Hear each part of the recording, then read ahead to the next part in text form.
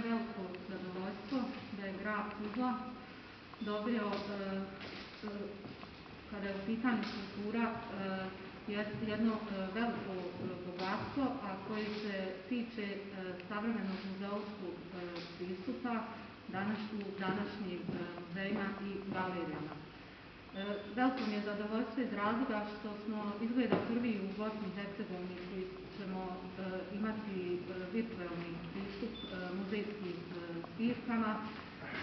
Ja kao zaposlenik, kulturni zaposlenik, kao kusto znam koliko to vrijedi u kulturnom predstavljanju lokalne zajednice. Moje kolege iz galerije portreta su radile veliki dio posla, prije svega na digitalizaciji umjetničkih predmeta, predmeta koji se tiču umjetnosti 20. vijeka, istaknutog slikara Isleta Miledinovića. To je jedan veliki posao i u svijetu broj jedan kada je u pitanju muzeološki pristup.